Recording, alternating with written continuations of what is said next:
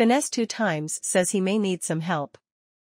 Finesse2Tymes says he's considering going to therapy but has never been one to pay others for advice.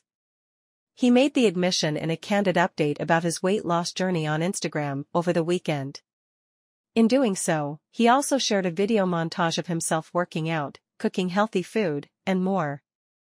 Weight loss journey going well, thanks for all the prayers, to my fans and supporters much love, he wrote. Physically I'm 100% better, mentally I'm not, I think I need to see a therapist. I never been into paying people for advice. There was a mix of support and trolling in the comments section. All these negative comments from black people. It's sickening, one user wrote. Another added, keep going they ain't talk bout SHIA, I be glad when school start back so all these kids in the comments can find some else to do with they time.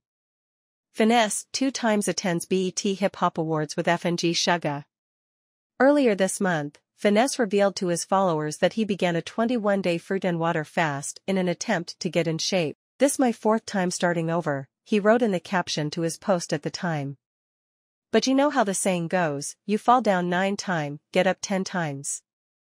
I used to think money solved everything, until I got money, now I'm struggling on mental, physical, spiritual journey, if you have a heart pray for me, I'm at war with myself hashtag art of war. Finesse2Tymes updates fans on weight loss journey. Check out the latest update on his fitness journey above. Be on the lookout for further updates on Finesse2Tymes.